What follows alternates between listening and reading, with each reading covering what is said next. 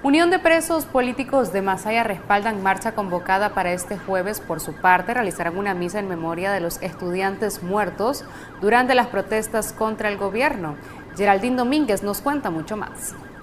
Unidad de Presos Políticos de Masaya, a través de un pronunciamiento, expresaron su apoyo a la marcha de los estudiantes convocada para este 25 de julio a las 2 de la tarde, misma que no fue autorizada por la Policía Nacional. Nosotros como escarcelados políticos del municipio de Masaya, apoyamos la marcha de los estudiantes a realizarse el día de mañana 25 de julio del 2019 a las 2 de la tarde en Managua por todos los estudiantes asesinados por los regímenes, regímenes dictatoriales que a lo largo de más de 60 años han masacrado, perseguido, secuestrado y torturado a los estudiantes.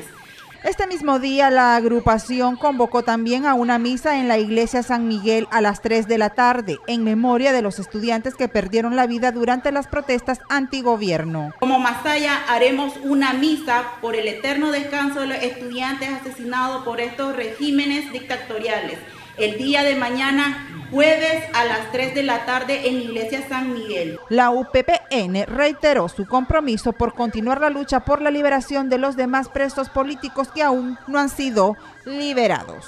No desmayen, que resistan, que se aferren a Dios como lo hicimos nosotros y aquí estamos como un ejemplo claro de un milagro en nuestras vidas y que no nos olvidamos de ellos, que estamos precisamente, estamos luchando por ellos, como dice nuestro hermano Cristian.